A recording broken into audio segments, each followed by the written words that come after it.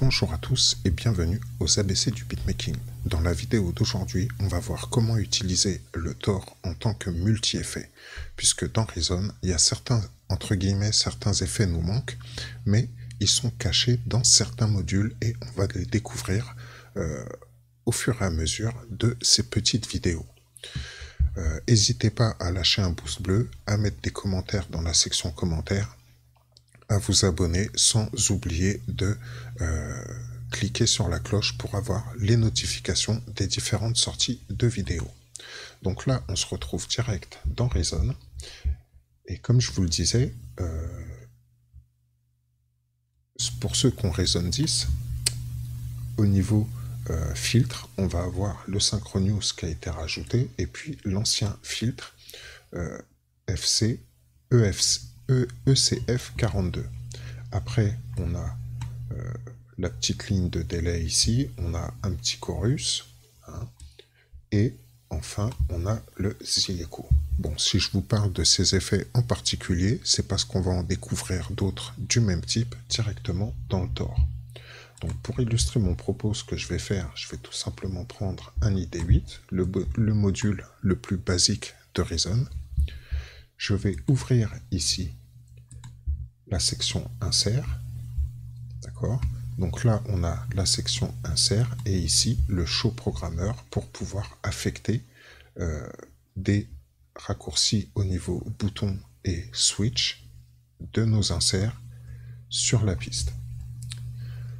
Là, ce qu'on va faire, on va prendre un tort en maintenant la touche Shift enfoncée et on l'intègre à l'intérieur de notre piste d'insert de l'ID8.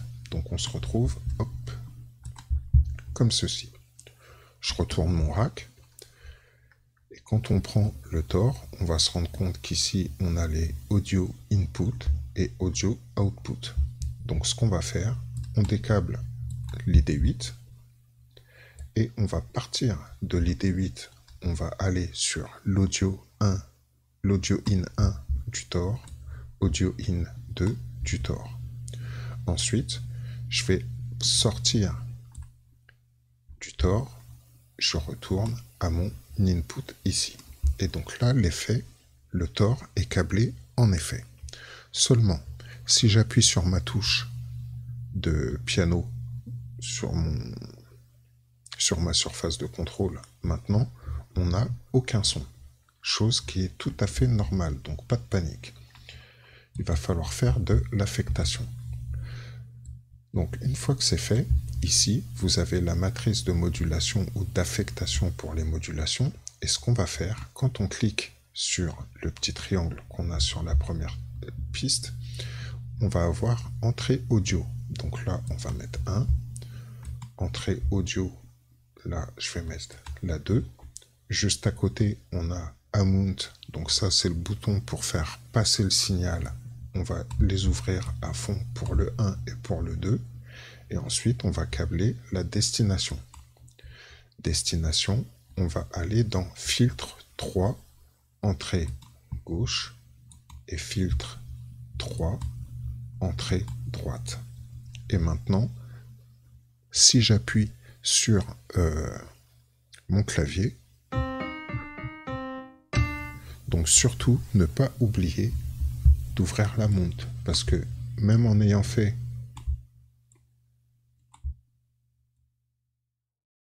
voilà, même en faisant les affectations, si on n'ouvre pas la monte et qu'on appuie sur un clavier, il ne se passe rien. Donc, on le remet à 100. Donc maintenant, on va découvrir ce que peut nous apporter au niveau effet le tort. Ici, vous avez la partie marron qui représente, comme c'est indiqué ici, euh, la partie 3 du filtre. Donc première chose, on va avoir accès à un délai synchronisable au tempo.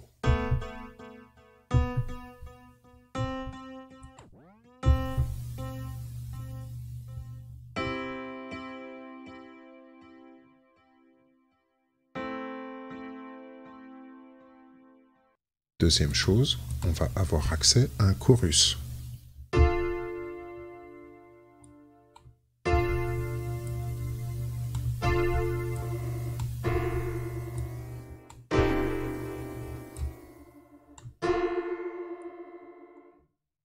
Et enfin, et c'est le plus intéressant, ici on va avoir accès à la section filtre. Donc on va se retrouver d'un coup avec quatre filtres supplémentaires qui vont couvrir quasiment tous les types de filtres existants sur le marché.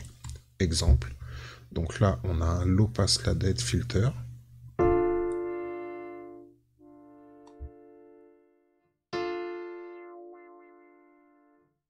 Bien sûr, chaque potentiomètre on peut créer une automation. Donc si vous voulez le faire à la main, il vous suffit de cliquer sur éditer l'automation. Sinon, vous lancez un enregistrement et vous bougez le potentiomètre à la souris. Ou alors, vous pouvez éditer une assignation de substitution et donc euh, euh, assigner à un potentiomètre de votre surface de contrôle le bouton en question et vous pourrez, pareil, euh, faire l'automation directement. Donc je vais le faire par exemple, éditer. Hop, là il a reconnu mon APC-K25. Et maintenant,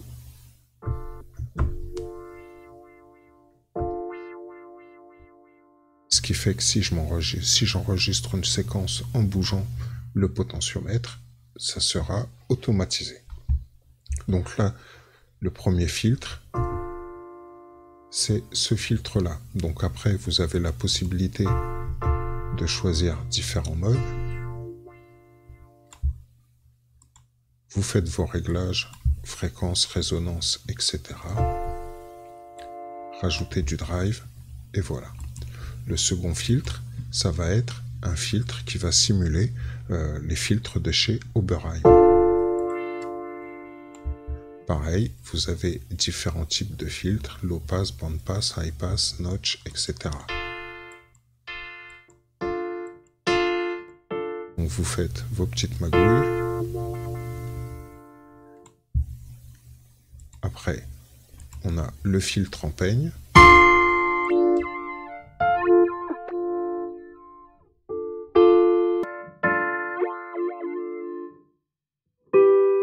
Et bien sûr, on peut très bien cumuler le filtre avec le chorus, avec le délai. Et enfin, le formant. Je vais me remettre au naturel que vous entendiez bien.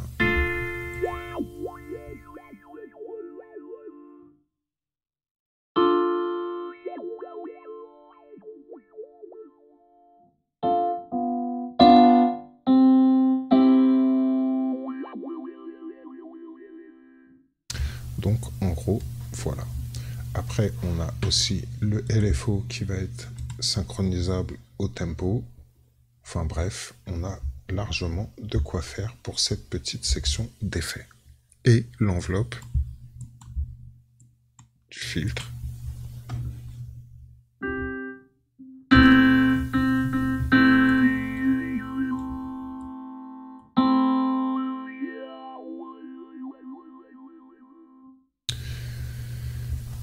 Donc en fait, je, récapitule.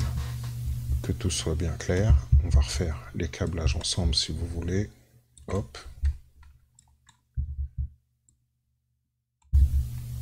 Je pars de mon ID8. ID8, je rentre directement dans le Tor Audio In, Audio 1. Je sors du Tor et je vais à ma piste instrument. Une fois que c'est fait, j'ouvre le show programmeur du Tor et j'affecte l'entrée audio 1 qui se trouve tout en bas ici. Entrée audio 2 qui se trouve tout en bas ici. Ensuite, je monte la mount à 100, ce qui va permettre d'envoyer l'intégralité du signal de l'ID8 dans le Tor. Et ensuite, je lui affecte le filtre entrée gauche filtre 3, entrée gauche, filtre 3, entrée droite, et ce qui va nous permettre d'activer cette section-ci. On va avoir accès à un délai avec euh, une synchronisation au tempo plus tous ces réglages, un chorus et quatre types de filtres différents. Donc c'est vraiment très complet. Donc j'espère que cette petite vidéo vous aura plu.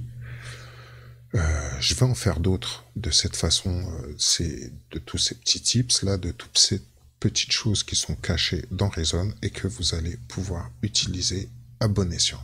Donc lâchez un pouce bleu si la vidéo vous a plu, partagez un maximum sur les réseaux sociaux et je vous dis à bientôt pour un prochain épisode des ABC du beatmaking. Salut salut